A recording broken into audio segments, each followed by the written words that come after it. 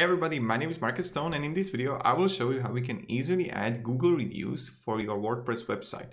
So let's start. First what you want to do is just scroll down below to the description and click on the link. When you will have it, you will get on this site called Elfsight.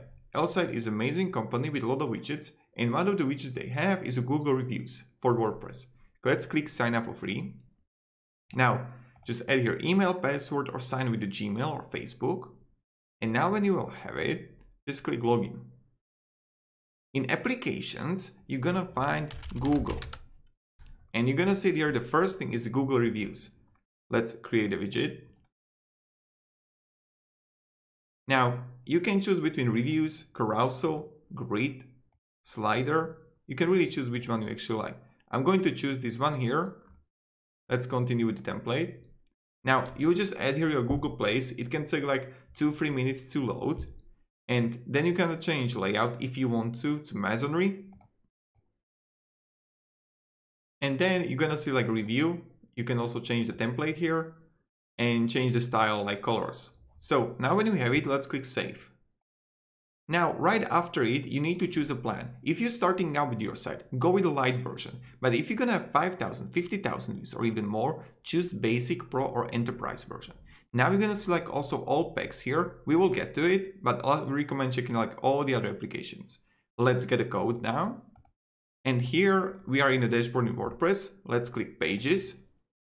And I don't know, let's click home here, front page.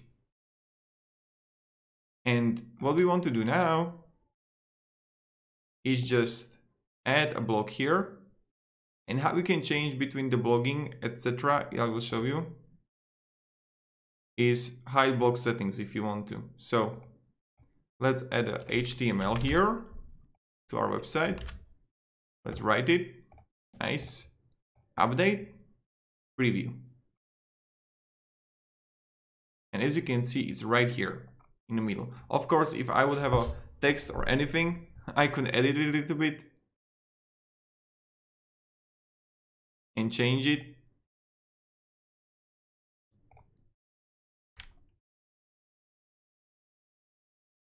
So formatting, you can add like table here.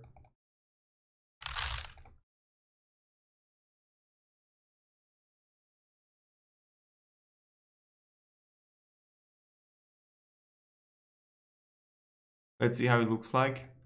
I was just testing it out. It's still here, okay.